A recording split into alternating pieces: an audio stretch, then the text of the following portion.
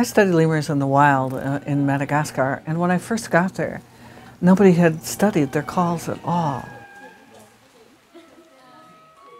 But I've been studying them for 30 years, so I pretty well got all the languages down now.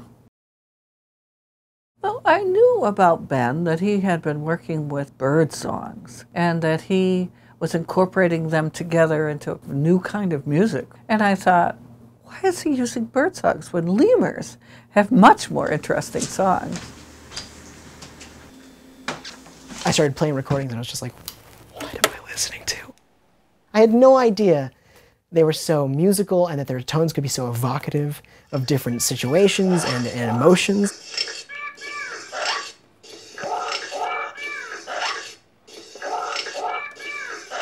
Some of them have kind of these piggish grunts, know, these like kind of deep things. Others will go.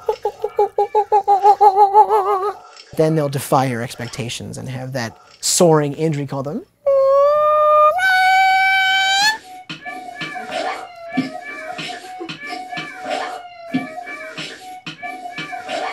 And when they sing together, they actually form musical chords. So for the purposes of structuring it in music, you do get a chance to both pay tribute to the fact that you're working with an indri voice, but it is also echoing the fundamental rules of this human musical system we've created.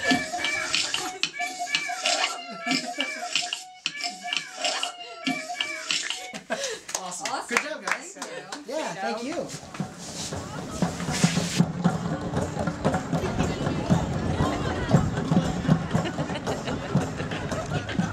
Ah, what do I hear when I hear Ben's music?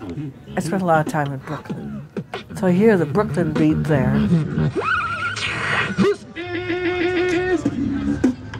But then I spent a lot more time in rainforest. And what he has done to incorporate the kinds of songs from the rainforest, it's a real song of life, and it brings joy to my heart.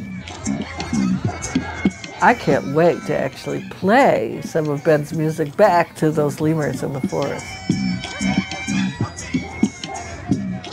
I'm just in a totally different headspace now. Having gone through the musical process of accessing this group of animals has inspired me to learn more about them. So I'm hoping that by doing this and sharing with other people that I can share that inspirational process. The inescapable reality is that lemurs are some of the most critically endangered animals on the planet. In some ways, it's, it's wonderful to be able to preserve things through audio. But in my mind, it's, it's pointless if it doesn't inspire protection of the animal itself. You know, Madagascar, the Malagasy people have a lot of challenges because it's a very poor country. But you know, life is more than just cash crops and getting funding. There's also celebrations.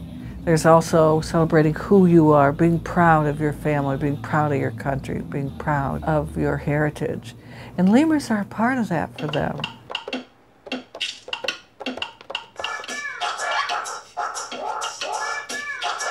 With Ben's new innovation of bringing the lemurs into the music, this will be the glue for the conservation project.